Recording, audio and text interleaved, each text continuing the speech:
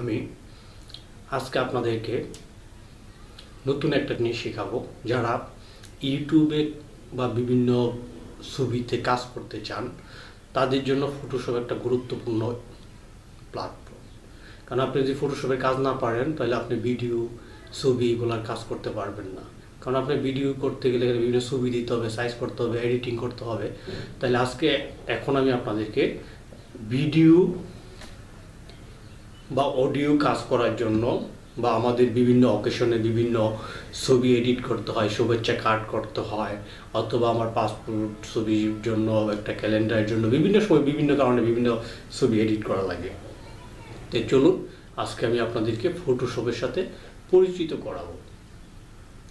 ফটোশপে যারা আমরা কাজ করতে চাই, তারা অবশ্যই প্রথমে একটা ফটোশপ ভার্সন আপনার ল্যাপটপে ডেস্কটপে ইনস্টল করে নিতে হবে। তা আশা করি সেটা অবশ্যই সবাই পারেন আর না পারলে এটা কোনো সমস্যা না, কারণ এটা একবার করাতে কারও সহযোগিতায় সেটা আপনি করে নিতে পারেন। আপনার কাছে যদি সফটওয়্যারটা থাকে অথবা কারও কাছে সফটওয়্যারটা এনে যদি সেটাকে আপনি অ্যাপ্লিকেশনে গিয়ে ইনস্টল করে নেন, তাহলে আপনার কাছে ফটোশপের সফটওয়্যারটা তো ধরেন আপনার এখানে ফটোশপ ইনস্টল করা আছে, আপনি একটা ছবি কাজ করতে চাচ্ছেন। তাই চলুন, আমি আপনাদেরকে দেখাচ্ছি কীভাবে একটা ছবির উপরে আপনি এডিটিং করতে পারেন, অথবা একটা ভিডিও কার্ড অথবা একটা শুভেচ্ছা কার্ডের উপরে কীভাবে এডিটিং করবেন বা টেক্সট লিখবেন।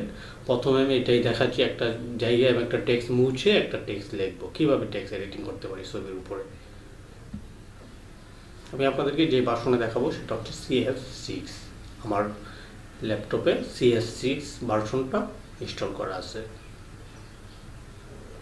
আপনারা স্ক্রিনে দেখতে পাচ্ছেন যে আমি আমার ল্যাপটপ থেকে সিএস সিক্স ভার্সন যে ফটোশপ সেটা ওপেন করছি। এখানে দেখেন উপরে টপে কতগুলো অপশন আছে যেটা আপনাদের সাথে আমি শেয়ার করব। বাম পাশে দেখেন আমার এখানে আছে বিভিন্ন টুলস মানে যে টুলসগুলোর মাধ্যমে এখানে কাজ করব। এখান থেকে এক একটা টুলস আছে, এটা মুভিং টুলস এটা বিভিন্ন সাইজ অ্যাঙ্গেল করার জন্য কয়েকটা অ্যাঙ্গেল বা অ্যাঙ্গেল আছে দেখেন। রেক্টেঙ্গুলার আছে রাউন্ড আছে। মানে আপনি আপনার মতো করে যখন যেটা দরকার হবে সেটা নিতে পারেন। তারপরে এখানে দেখেন, এই যে লেসো টুল বা যে কোনো এরিয়া সিলেক্ট করার জন্য ম্যাজিক টুল বা ব্যাকগ্রাউন্ড কাট করার জন্য আমরা ইউজ করে থাকি ম্যাজিক টুল এটা ওইটার মতো অনেকটা একসাথে সিলেক্ট করার জন্য পাশাপাশি কালার ম্যাজিক টুল ইউজ করে থাকি। তারপর এটা হচ্ছে গ্রুপ টুল যেটা সবচেয়ে বেশি আমাদের জন্য প্রয়োজন হয়। সাধারণত যে কোনো ছবিকে কাটার জন্য বা সাইড গ্রুপ করার জন্য আমরা এটা ইউজ করে থাকি। ড্রপার টুল তারপরে হচ্ছে ব্রাশ স্পট ব্রাশ টুল বলে এক এক কাজের জন্য এক একটা লাগে। এখানে আরেকটা ব্রাশ টুল আছে, এখানে একটা আছে ক্রোন টুল ক্রোন বলতে আমরা ভালো বুঝি ক্রোন মানে হচ্ছে একটা সেম আর একটা। এটা কীভাবে কাজ করতে সেটা আমি দেখাবো।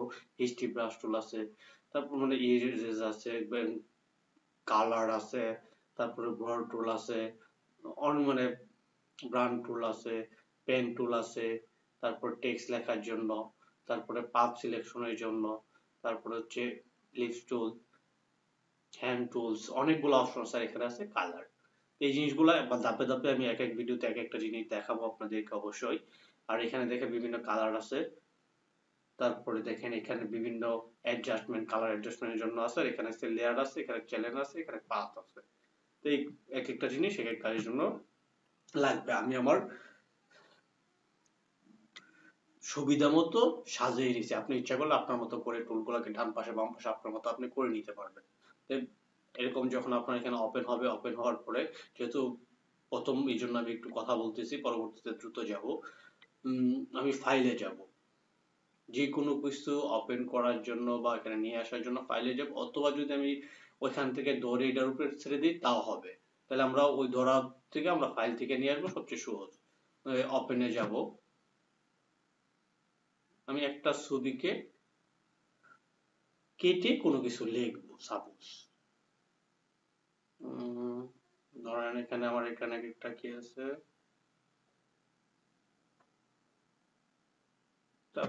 নিয়ে আসি। ধরেন এখানে ডাবল ক্লিক করলাম, সেটা ওপেন হয়ে গেল। আমার ডেস্কটপে চলে আসতেছে। এখানে ধরো ছবিটা এটা, এটার উপর আমি কোনো কিছু একটা লিখতে চাই। দেখেন, এখানে আমার ছবিটা এখানে চলে আসছে। মুভিং টুলটা সিলেক্ট করে রাখলাম, দেখেন। সাপোজ আপনার এখানে কোনো কিছু একটা চেঞ্জ করা লাগবে। যদি চেঞ্জ করতে হয়, সেটাকে আপনি সেম কালারটা দিয়ে আপনি চেঞ্জ করতে পারবেন, অথবা কোনো কিছু একটা মুছতে হবে, সেটাও মোছা সম্ভব। সাপোজ ধরেন তারিখ, এই ধরেন সাপোজ এই তারিখটা আমি নয় জায়গায় সাত দিব। এই টেক্সটটা যদি এডিট করে আপনি বুঝেন, তাহলে আপনি যে কোনো ছবি টবি যে কোনো কিছুতে সেম কাজগুলো করতে পারবেন। ধরেন এখানে আমার সতেরো নয় চোদ্দশো পঁচিশ বঙ্গাব্দ লেখা আছে। এখানে সতেরো নয় না হয়ে, এখানে আমার দশ হবে অথবা সাত হবে। তাহলে এটা আমি কীভাবে করব? দেখেন, এটাকে আমি একটু জুম করে নিয়েছি। জুম করার জন্য আমি আমার কিবোর্ডের কন্ট্রোল প্লাস বাটনটা প্রেস করে জুম করে নিচ্ছি। দেখেন জুম করে নিলাম। এখন অনেকভাবে করা যায়, আমি সহজ করে বলতেছি। এখানে আমি একটা লেয়ার নিয়ে করতে পারি, অথবা ওই যে এখানে দেখেন একটা ক্লোন টুল আছে। এই যে দেখেন ক্লোন টুল এটা আমি সিলেক্ট করা আছে, তাহলে আমি কি করব? আমার কিবোর্ডের অল্টার বাটন প্রেস করে এইটার উপরে ধরেন সাপোজ এই জায়গাটাকেও আমি সেম ভাবে আবার নিচে নিয়ে নিব। তাই অল্টার বাটন প্রেস করলাম, দিয়ে মাউস দিয়ে অথবা কিবোর্ড দিয়ে সিলেক্ট করব ওই জায়গাটা করলাম। এখন দেখেন আমি এটাকে এখানে নিয়ে আসলাম, এই যে। এখন আপনি সিলেক্ট করে দেখেন, উপরের কালারটা আমি এখানে দিয়ে দিচ্ছি। এটুকু আমি মুছে দিচ্ছি উপরের কালারটা এখানে দিয়ে দিচ্ছি সেম কালার এটা অনেকভাবে করা যায়, আমি আমার মতো করতেছি। আপনারাও আপনাদের মতো করতে পারবেন। দেখেন, এখানে উপরের কালারটা আমি বসাই দিচ্ছি। আবার একটু, আবার অল্টার চেপে, আবার এই জায়গাটাকে আবার আমি সিলেক্ট করে নিচ্ছি। নিয়ে আবার এখান থেকে মোছা শুরু করতেছি। কারণ এমন যাতে না হয় যে পরবর্তীতে আবার রুম বলতে হচ্ছে ওইটার সেম বসে যাবে। যদি আমি একইভাবে করতে থাকি, তাহলে আমার নিচের টেক্সটটুকু আবার এখানে বসে যাবে। তাহলে আমার কাঙ্ক্ষিত লক্ষ্যে আমি যাইতে পারব না। এই জন্য এই জায়গাটাকে মুভ করার জন্য দেখেন আমি সেম ভাবে কাজটা করে নিচ্ছি। কোথাও কোনো হাত না দিয়ে দিয়ে দেখেন। এই জায়গাটুকুকে আমি সেম ব্যাকগ্রাউন্ড দিয়ে করে নিলাম কন্ট্রোলের মাধ্যমে।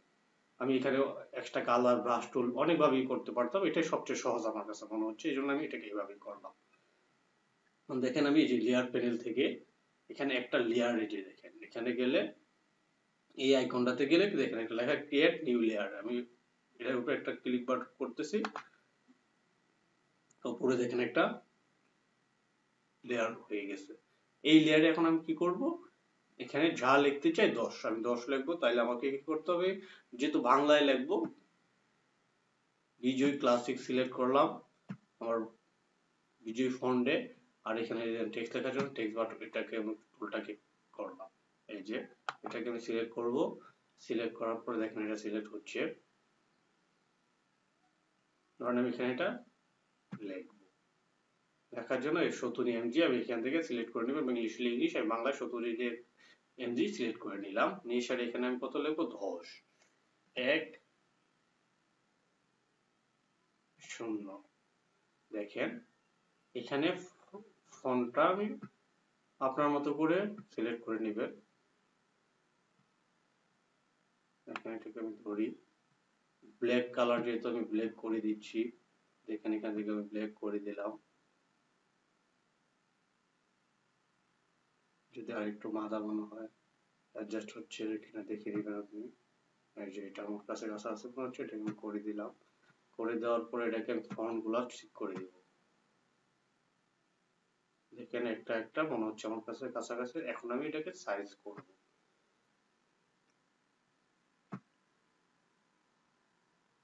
সাইজ এভাবে করতে পারি অথবা অন্যভাবে করতে পারি। ধরুন এটাকে আমার সিলেক্ট করা আছে। এটাকে আমি যদি কন্ট্রোল টি দিই কিবোর্ডের কন্ট্রোল টি দিয়ে দেখেন আমার ট্রান্সফর্ম সোর্স আছে।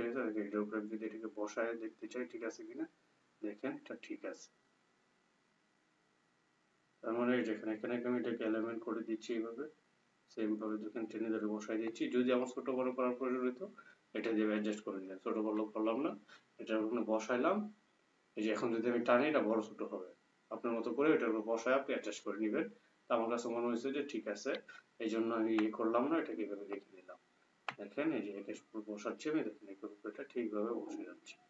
তাহলে আমার কাছে মনে হলো অ্যাঙ্গেল সব ঠিক আছে সেম ফন্ট হয়ে গেছে। এখন আমি এটাকে মাঝখানে নিয়ে অ্যালাইনমেন্টে নিলাম, নিয়ে এসে এখন অ্যাপ্লাই দিয়ে দিলাম খুলে ক্লিক করে অ্যাপ্লাই দেখেন এটা এখানে বসে গেছে। এখন আমি আবার কন্ট্রোল মাইনাস দিয়ে ছোট করে ফেলি। দেখেন এখন এটা যে আপনি আলাদাভাবে লিখছেন, এটা কেউ বুঝতে পারবে না। দেখেন আমি সেম ব্যাকগ্রাউন্ডটাকে রিমুভ করে এভাবে লিখছি, যে কারণে এটা বোঝা অনেক সহজ হচ্ছে। তাহলে আর আমি যদি এই ব্যাকগ্রাউন্ডে সরাসরি লিখতে পারতাম, এতে আমার কি হতো ব্যাকগ্রাউন্ডে বসে যেত এটাকে মুভ করা বা রিমুভ করা আমার জন্য কষ্ট হতো যে কারণে আমি এটাকে আলাদা একটা লেয়ার নিয়ে লিখছি, আলাদা আলাদা লেয়ার নিয়ে লিখলে আপনার জন্য এটাই সুবিধা হবে। তো সেম ভাবে আপনি যত যে লেখাটা মুছার দরকার মুছবেন, যেটা লেখার দরকার সেটা লিখবেন। তো লিখে ধরেন এভাবে আমি আমার যে কোনো ছবিতে যে কোনো ঈদ কার্ড বা যে কোনো কিছুতে এভাবে কাজ করতে পারি। আশা করি আপনারা এমন ভাবে কাজ করে আপনারা যে কোনো শুভেচ্ছা কার্ড তারপরে হচ্ছে বিভিন্ন ডকুমেন্ট এগুলোর উপর, ছবির উপরে কাজ করে এডিট করা টেক্সট লেখার অপশনটা যারা নতুন, তাদের জন্য এই ভিডিওটা এভাবে লিখে, লেখার পরে যে দেখেন আমি এখন সেভ করে দিই ফাইলে যাব সেভ এজে যাব সেভ এজে গিয়ে পেজ দিয়ে পেজ দিয়ে আমি যে পেজে এটা জিবিজি ফোন দিয়ে আমার নাম ইচ্ছা মতো যেটা আমি দেওয়া দরকার দিব ডেস্কটপে আমার কাঙ্ক্ষিত ফোল্ডারে যে নামে আমি রাখতে চাই, সেই নামে এটা আমি সেভ করে দেব। কন্ট্রোল সেভ দেখেন ওকে বাটনে প্রেস করলাম, আমার এটা সেভ হয়ে গেছে। যদি আমি দেখতে চাই, দেখেন আমার এখানে যে নামে হয়ে গেছে, এটাকে আমি ভিউ করি, দেখেন।